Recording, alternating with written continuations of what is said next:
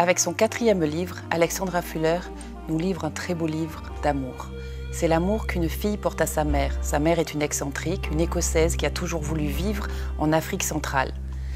Donc elle s'installe là avec son mari. Elle a des enfants.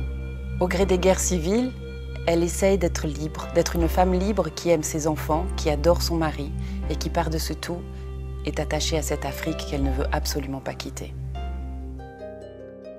Tu te souviens quand tu m'as déguisée en Je ne t'ai jamais promis un jardin de roses au bal costumé de Noël des Davis demandai-je à maman.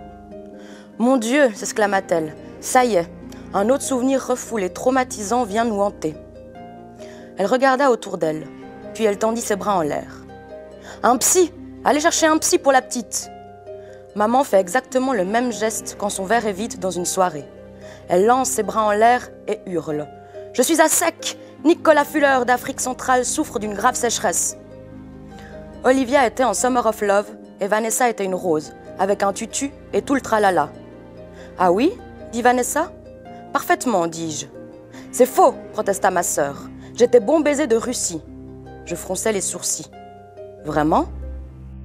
Ce quatrième livre d'Alexandra Fuller est un magnifique roman, ou plutôt un livre témoignage.